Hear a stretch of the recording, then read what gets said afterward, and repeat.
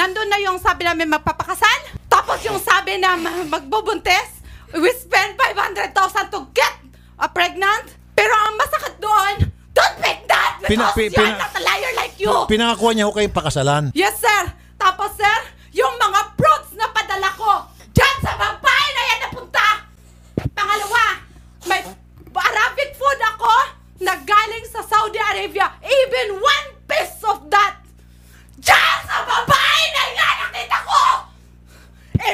the, the, chocolate, everything, even my perfume.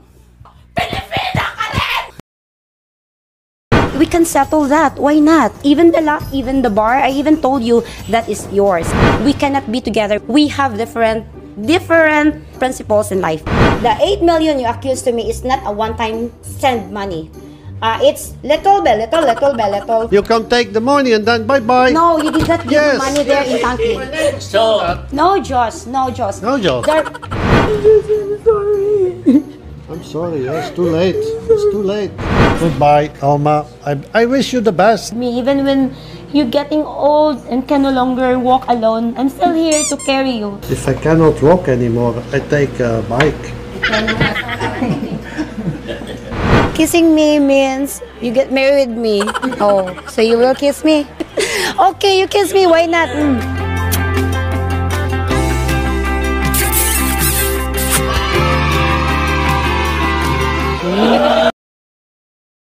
Yung mga nanay na nagdadalaga-dalagahan. Okay, ngayon na lang ulit ako sasagot sa gantong comment kasi iniwasan ko na to eh.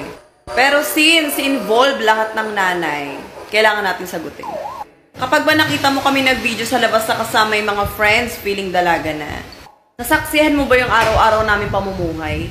Nakikita mo ba yung pag-aalaga namin? Kasama ka ba namin sa bahay? Alam mo kasi, wala kami magagawa kung sadyang maganda kami kahit may mga anak na kami. That's not our fault. So siguro nga hindi ka pananay kaya parang hindi mo alam yung sakripisyo ng isang ina. Hindi mo rin nakikita yung hirap at lungkot sa mga nanay na umiiyak araw-araw dahil nakakalimutan na nilang alagaan yung sarili nila. So sino ka para manghusga? Kaya kung makakita man kayo ng mga nanay na nag-aayos at lumalabas, dapat hindi nyo sila inuusgahan. Kasi yung konting oras nilang pagsasaya, ang kapalit na yung buong buhay nila pag-aalaga sa pamilya nila.